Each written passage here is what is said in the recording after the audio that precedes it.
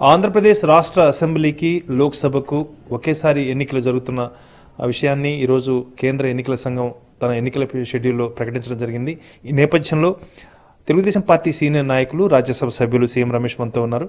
Sir చాలా తక్కువ సమయం ఉంది. కేవలం ఒక్క నెల మాత్రమే. ఈ ఈ రోజు నుంచి పదకొండు ఏప్రిల్ పదకొండో తేదీన మీకు ఎన్నిక జరుగుతుంది పోలింగ్. మీకు చాలా సమయం తక్కువగా ఉంది. మరి ఏమైనా ఇబ్బందులు ఏదైనా ఎదుర్కొంటారా? అన్ని రకాలుగా మా కార్యకర్తలు మా నాయకులు అభ్యర్థులు అందరూ కూడా రెడీగా ఉన్నారు. మేము ఈ ఎన్నికలను ఏదైతే మొదటి ఫేజ్లోనే పెట్టారో దాన్ని స్వాగతిస్తున్నాం.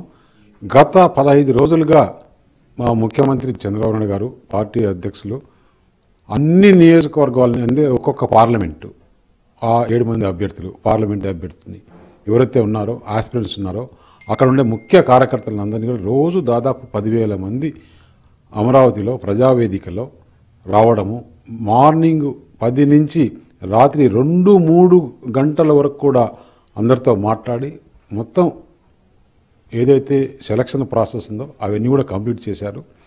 మిగతా ఎలక్షన్లలో చాలామంది నాయకులు ఆల్మోస్ట్ నూట ముప్పై మంది నూట నలభై మంది ఫీల్డ్లో ఉండి కొన్ని రోజులుగా వాళ్ళు ఎలక్షన్ క్యాన్వాస్లో ఉన్నారు. మాకు ఎలాంటి అభ్యంతరం లేదు. ఎందుకంటే ప్రజలు ముఖ్యంగా ఎప్పుడెప్పుడు ఎలక్షన్ రావాలన్నా అని ప్రిపేర్ అయి ఉండాలి. ఎందుకంటే ముఖ్యంగా రెండు అంశాలు. ప్రజలు గమనిస్తున్నారు.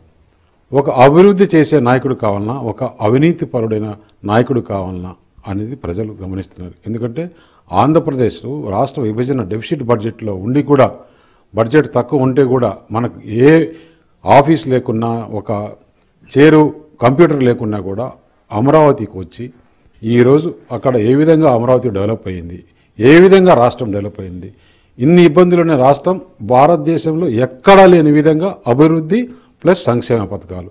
ముఖ్యంగా గర్వంగా చెప్పుకోవాలంటే ఒక క్యాపిటల్ కట్టుకునే అవకాశం మన ముఖ్యమంత్రి చంద్రబాబుకి రావడము ఆయన పడిన కష్టం క్యాపిటల్కి ఏ విధంగా దాన్ని డిజైన్ చేయించడము ఎన్ని రకాలుగా కూర్చొని ఎన్ని మీటింగులు చేసి ఈరోజు ల్యాండ్ పూలింగ్లో అక్కడ రైతులు సహకరించడము ఈరోజు క్యాపిటల్ ఏ విధంగా వస్తుంది? పోలవరం వారం వారము చేసి. అలాగే మాకు రాయలసీమలో అయితే ఆంధ్రనీవా గాలేరు నగిరి ప్రాజెక్టులు ఈరోజు కడప వరకు నీళ్ళు వచ్చినాయి మళ్ళీ దాన్ని చిత్తూరు వరకు ఏ విధంగా తీసుకుపోయేదానికి కూడా రెడీ చేశారు.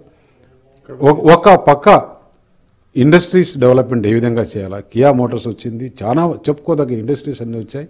వచ్చిన దానివల్లనే ఈరోజు ఈజ్ ఆఫ్ డూయింగ్ బిజినెస్లో నెంబర్ వన్లో ఉన్నాం. జీడిపి ఎత్తుకుంటే భారతదేశంలోనే నెంబర్ వన్లో ఉన్నాం.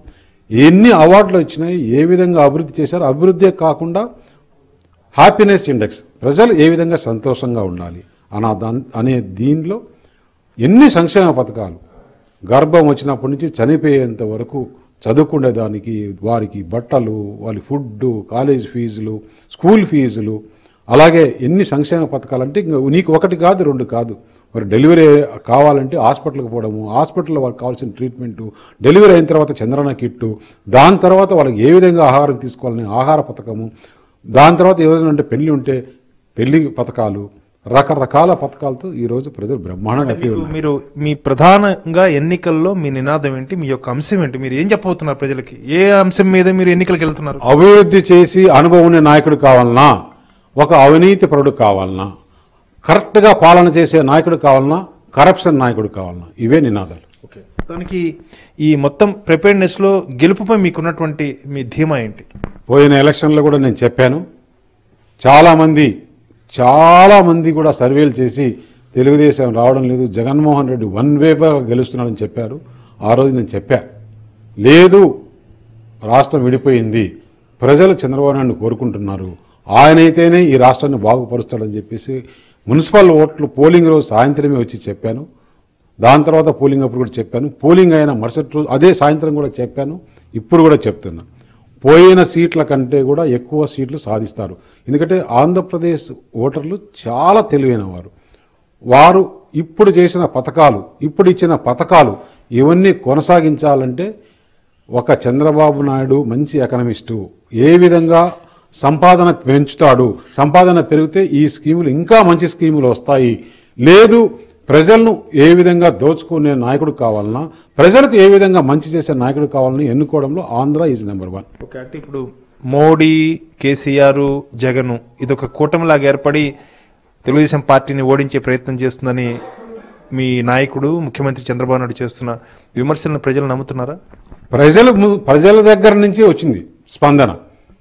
ప్రజలు ఈరోజు మనం దాంట్లో నమ్ముతున్నాడు దానికి కారణం ఏంది?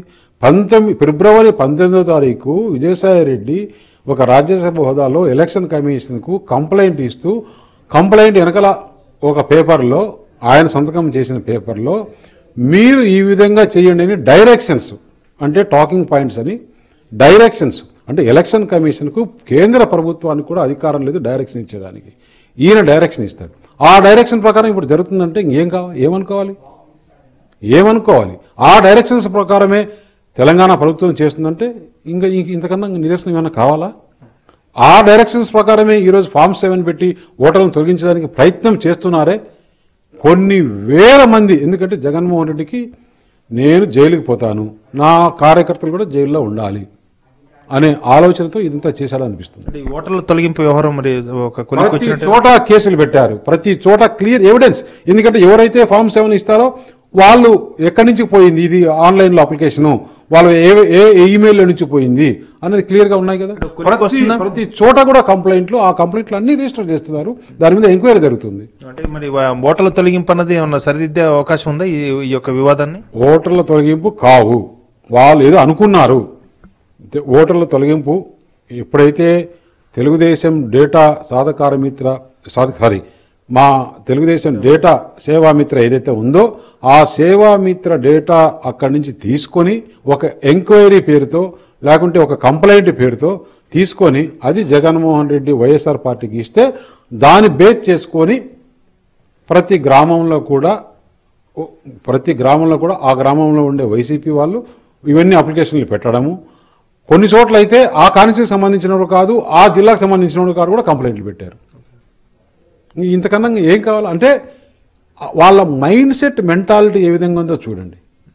వాళ్ళ మైండ్ సెట్ మెంటాలిటీ ఈ విధంగా ఓట్లు తొలగించుకుంటే ఒక ఐదు ఆరు పర్సెంట్ ఓట్లు తొలగిస్తే మనకేమన్నా మేలు జరుగుతుందా అని అక్కడ మా కార్యకర్తలు మేల్కొని మా మొత్తం టీం అంతా మేల్కొని ఎక్కడికక్కడ ఎక్కడికక్కడి ఆ కంప్లైంట్లు ఇచ్చి వాళ్ళని ఈరోజు అరెస్ట్ చేసి చాలాసార్లు కేసులు బుక్ చేశారు.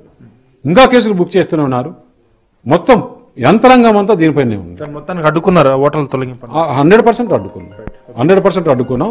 వాళ్ళ కుట్ర అనేది ప్రజలకు ఈరోజు తెలిసిపోయింది. ఎందుకంటే ఆంధ్రప్రదేశ్లో తెలుసు మన ఆంధ్రప్రదేశ్ మళ్ళీ బాగుండాలా పోలవరం కంప్లీట్ కావాలా అమరావతి రావాలి అభివృద్ధి జరగాలి సంక్షేమ పథకాలు ఉండాలంటే ఈయన అయితేనే చేయగలడు చంద్రబాబు నాయుడు అయితేనే చేయగలడు అనేది ప్రజలకు నర నరాన ఎక్కింది. మొత్తానికి అభివృద్ధికి అవినీతికి జరిగే ఈ పోరాటంలో ఆంధ్రప్రదేశ్ ప్రజలు అభివృద్ధిని కోరుకునే అభివృద్ధిని ఆశించే అభివృద్ధిని సాధించే ముఖ్యమంత్రి ఎన్ చంద్రబాబు తిరిగి నాయకుడిగా ఎన్నుకుంటారు. తెలుగుదేశం పార్టీ మరింత ఘన విజయాన్ని సాధిస్తుందన్న ఆశాభావాన్ని అదేవిధంగా నమ్మకాన్ని వ్యక్తం చేస్తున్నారు సీఎం రమేష్. ప్రసాద్ ఎన్టీవీ న్యూఢిల్లీ.